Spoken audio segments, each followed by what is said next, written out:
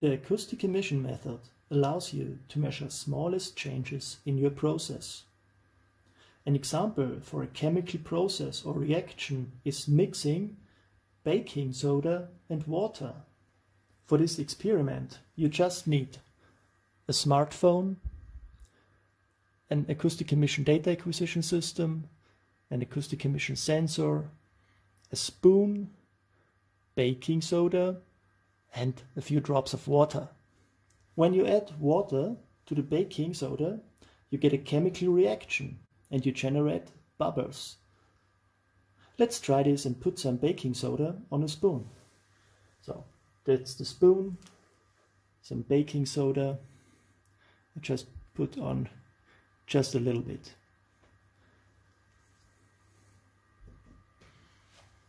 Attach the acoustic emission sensor to the spoon.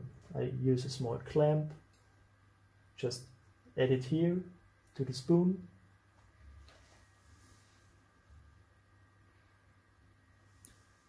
Next step, connect the sensor to the spotWave, to this data acquisition system for acoustic emission. And connect the spotWave to your smartphone.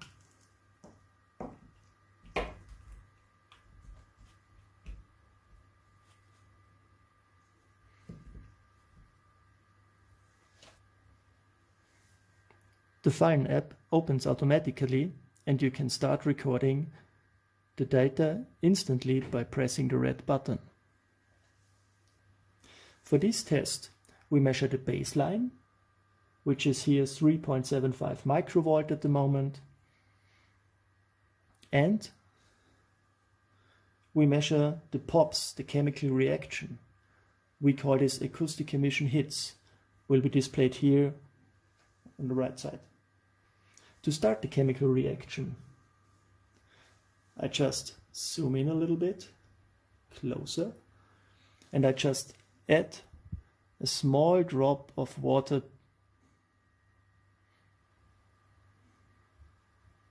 just one drop and you immediately see here the increasing activity the baseline increases you get red dots which are the acoustic emission hits the pops the bubbles which are generated in this um, soda water mix. And you can see can follow it here on the uh, on the smartphone the red dots and the blue line.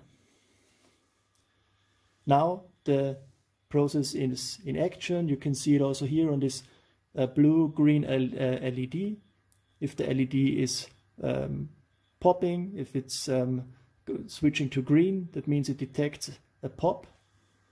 And you already can see that the baseline goes back. It was at 12 before, now it's at 7. You can also see here the red dots. It's going um, to be silent now. It means the activity stopped, but it's not completely stopped at the moment. You can see the baseline is at 6 microvolt at the moment, and we still wait now until we come back to 3 microvolt. So that means there is some activity in your chemical reaction, um, but it's less active already.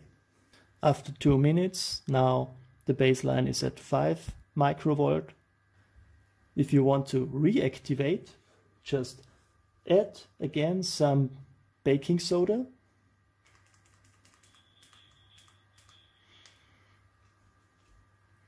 And add some water. Again, another drop of water.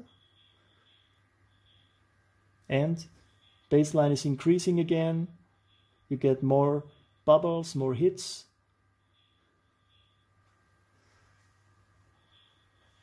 And this is how you can monitor your chemical process